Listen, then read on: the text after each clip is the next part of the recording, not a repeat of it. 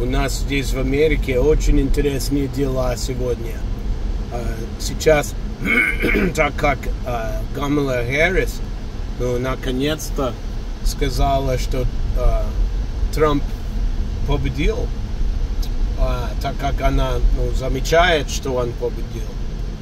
Сейчас люди могут везде по улицам просто ходить и сказать, кричать, Trump, fuck, fuck, fuck, и против Трампа все будет. Это то, что я помню, когда Трамп был президентом а, после 16-го, а, что эти ну, уродливые, которые нам им нечего делать, безработницы в основном, или только блогеры, а, они там прика- кричат по улицам, а кто защищает это право?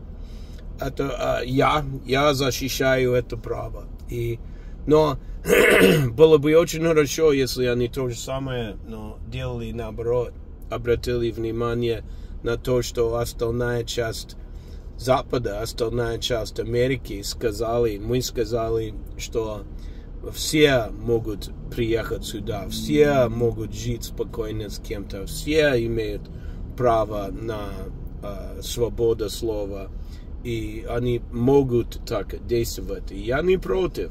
Просто хочу, чтобы это все было то же самое, когда, э, ну, наша, ну, когда ваша страна, э, как это, ваша часть, ваша демократия э, тоже в силе, они должны сильно думать об этом в течение следующих четыре года, потому что я, э, я, они, ну, это больш, большая победа Трампа. Разве большая победа?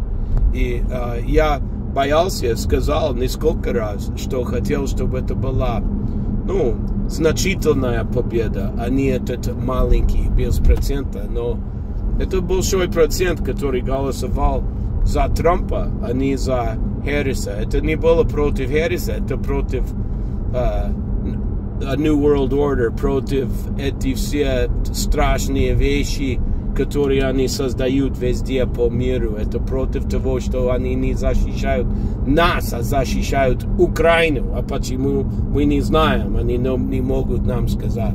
Но это все, что я хотел сказать сегодня. Я хотел просто крикнуть по дороге на работу. Меня зовут Сэмюэл Трап, я ваш русскоговорящий американец. И, пожалуйста, поставьте мне лайки и слушайте мой канал. Спасибо большое.